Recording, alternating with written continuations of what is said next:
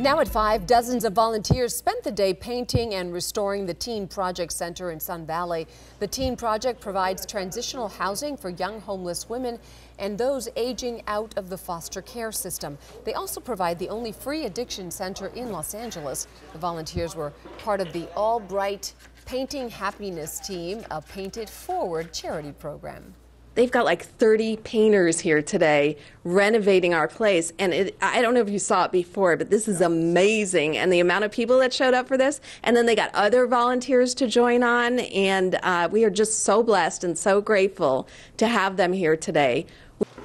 100 gallons of paint were donated by Dunn Edwards Paints for this event.